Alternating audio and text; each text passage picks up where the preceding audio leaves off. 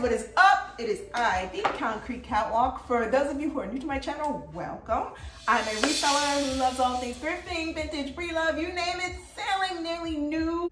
I love it. To my catwalkers, mwah, thank you for tuning in this Sunday. For those of you who are newly subscribed to my channel, thank you so much. We are growing and I am excited. Thank you for joining this journey with me. Guys, what I am going to get into today, a question that I wanted to ask you. But before I get into that question, there are a couple things I would like to show you. Mini haul, as I, I don't know why, but I feel like preparing myself for the upcoming fall. Let's get into it. A couple of items came from Zara, and one of them came from Burlington. If there's a Burlington or Burlington Coat Factory, but I guess now they call themselves Burlington.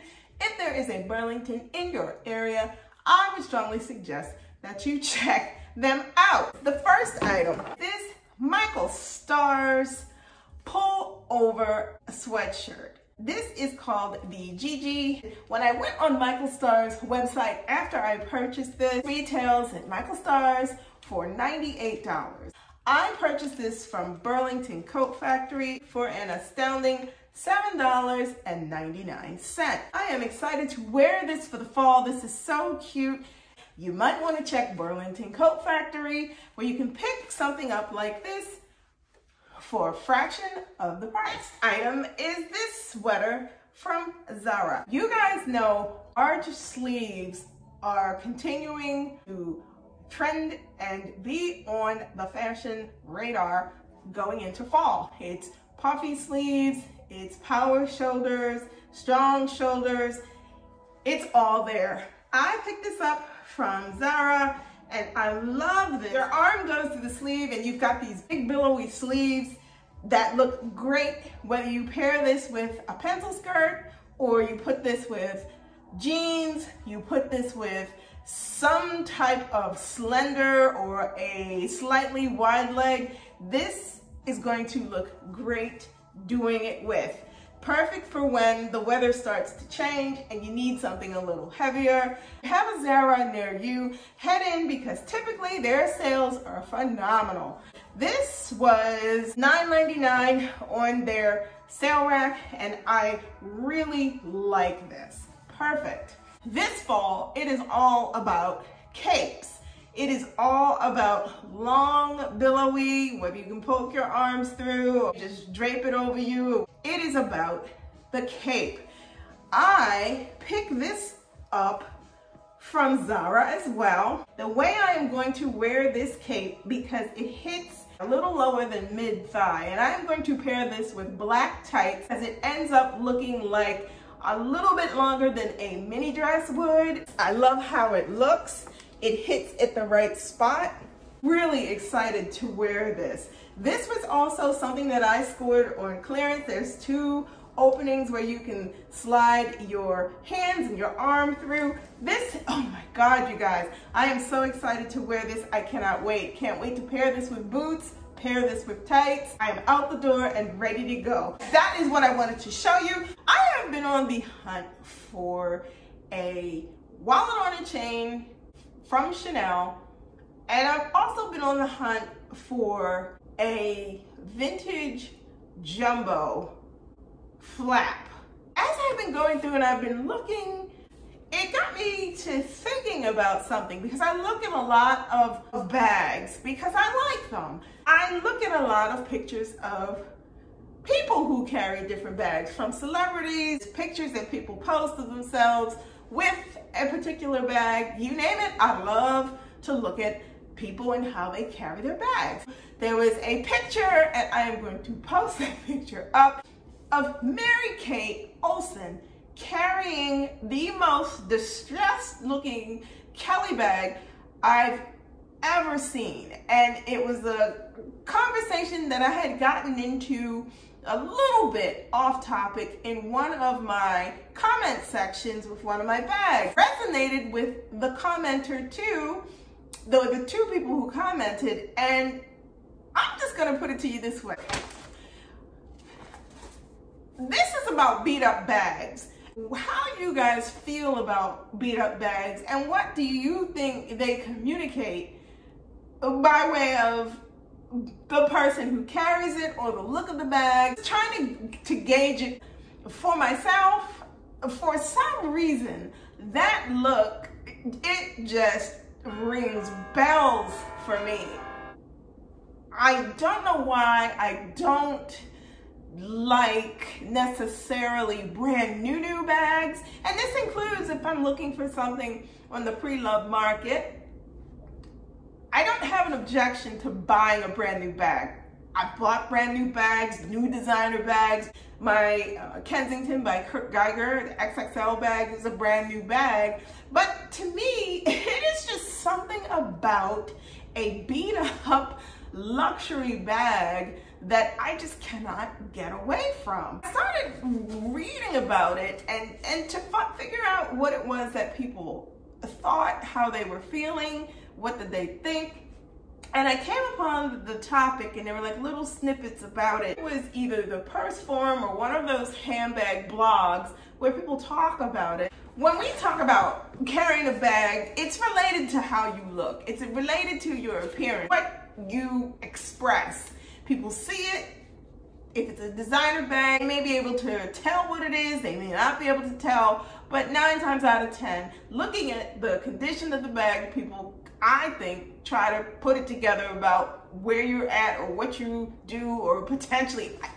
I'm saying that to say to you guys, when I see a picture of Mary Kate or a Kate Moss or somebody who's carrying a bag and that bag looks like it has been around the world.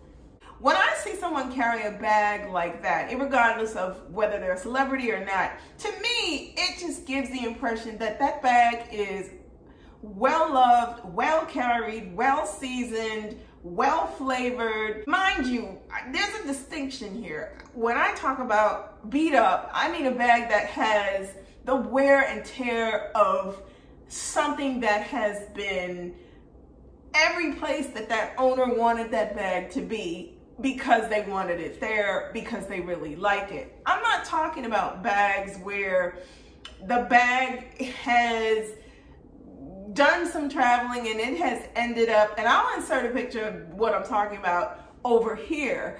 And that is when a bag has been mistreated, where there's stains on it, um, I'm not talking rub and I'm not talking just from from daily use of it. I'm talking serious stains like the stain you see here on Mary Kate's Balenciaga bag. That is a horse of a different level when you're talking about a bag that has damage like that. Different.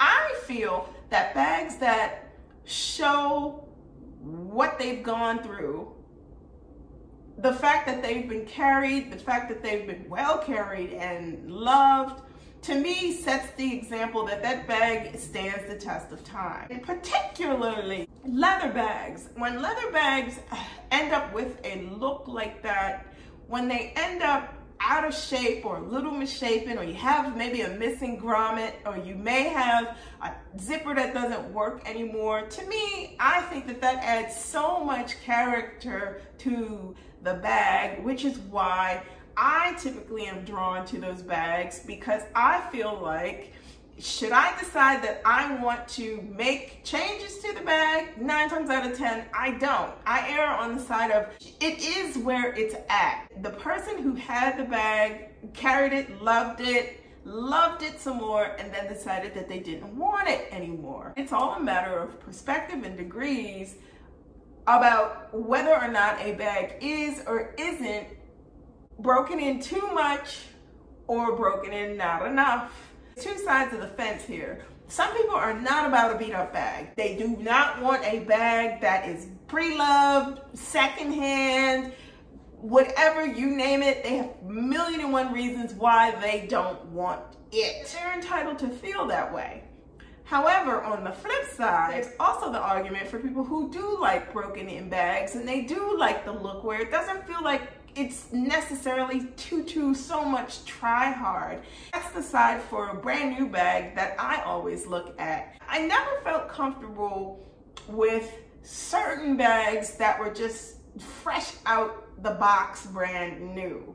Previously, when I was younger, I had a couple of Chanel bags purchased brand new at the boutique, and they just never felt comfortable to me. It just, it, they never felt like they were a part of me. They always felt cold and new and like they needed something more from me that I just could not give. I could not give to them what they needed, which was to be showcased, carried intermittently.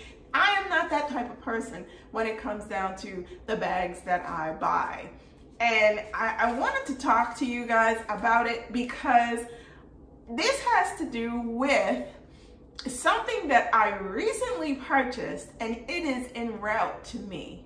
I wanted to kind of soft walk it with you guys because this bag is a Chanel bag. It is not a walk, but it will be here next week. And I am going to do an unboxing of this bag and I'm going to show you exactly what I mean. I want to know in the comments below how you guys feel about beat up bags in general. If you see someone carrying something and you're looking at the bag and you can see, okay, this bag has been well carried, well loved. What is your feeling about bags when they show that they have been around? What is your feeling when you look at a bag and you see that it has what I call some character to it, some seasoning to it, beyond patina, beyond just softening of leather. I'm talking bags that they show, they show you clearly what is going on with them and where potentially they may have been by way of what they show on their surface. You guys, that is what I wanted to pop in and talk to you about. Leave your comments below about how you feel about what those kind of bags communicate. Do you think that they communicate or do you think they communicate? Thank you so much for watching me this week.